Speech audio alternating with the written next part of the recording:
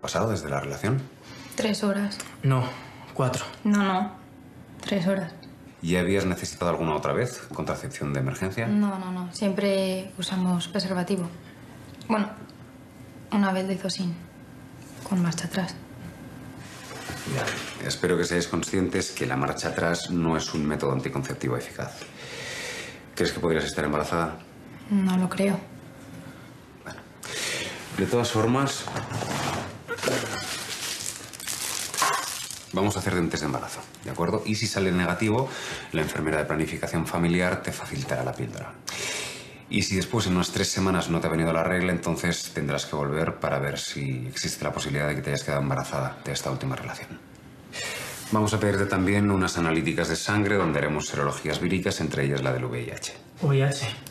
Sí, sí, pero tranquilos, es solo modo de control. Tu padre otra vez. Pues cógelo. ¿Pero qué haces? Ana, estoy nervioso, ¿vale? Luego veo lo que quiere. Carlos, es que eres muy pesado, de verdad. A ver, ¿va todo bien? No. Te rayes, anda. ¿Cómo que no me raye, Ana? Esto no puede volver a pasar. A ver, ¿el qué no puede volver a pasar? ¿El vernos, el sexo o le suena gomita del siglo pasado? Joder, que yo no puedo hacerle esto a tu padre, ¿vale? Que él se ha portado fenomenal conmigo. ¿Y cómo se lo pago yo, eh? A punto de hacerle un nieto que hemos estado. O sea, que todo esto es por mi padre. ¡Que no! ¿Cómo que no? No, no es por tu la que padre. ha estado a punto de quedarse embarazada soy yo. ¿eh? Lo sé, vale, lo sé. Pero que creo que deberíamos contárselo y dejar de escondernos, Carlos. ¿Tú estás loca? Loca. Sí. ¿Sabes lo que me dijo tu padre cuando le conocí? ¿Qué? Que me podía fijar en todo menos en su hija. ¿Y en quién me he fijado, eh? ¿En quién? ¿Qué pasa? ¿Que le tienes miedo? Miedo no. Pánico. Eres un exagerado. Mira, Ana, tú ves a tu padre, ¿no? Pero yo veo a una bestia parda. Claro. Venga, pues dile que, que se dé prisa. Papá, oye, que de verdad que estoy bien, que si te tienes que ir, vete. A ver, hija, no estás bien. Así, no te preocupes, que yo me quedo aquí para cuidarte. Hola.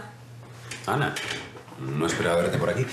Pero de hecho te voy a llamar para darte los resultados de la No, serología. no, no, luego, que No te preocupes, hombre. Así que vamos a tomar otra muestra para hacer un cultivo, ¿de acuerdo? Y también te voy a hacer un análisis de sangre para descartar que se trate de una mononucleosis. Vale. Eh, pero eso es algo de la enfermedad del beso.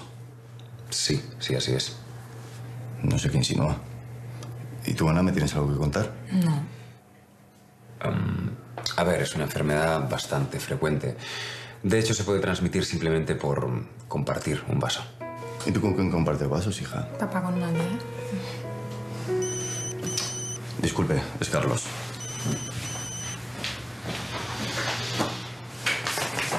Aquí tienes los resultados. El test del VIH es negativo. Y ahora, mientras esperamos a tener el resto de resultados, te voy a poner el tratamiento sintomático, ¿de acuerdo? Mucha hidratación y paracetamol para el dolor y la fiebre. Vale. Muchas gracias, de verdad. Por la discreción.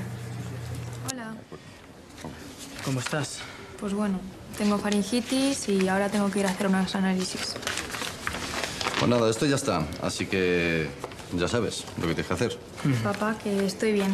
Que si quieres vete tú al banco a llevar eso y luego, después de los análisis, me lleva Carlos a casa. No te preocupes, hija, que después de los análisis te llevo yo a casa. Y Carlos va encantado, ¿o no? Claro. Pues ya está.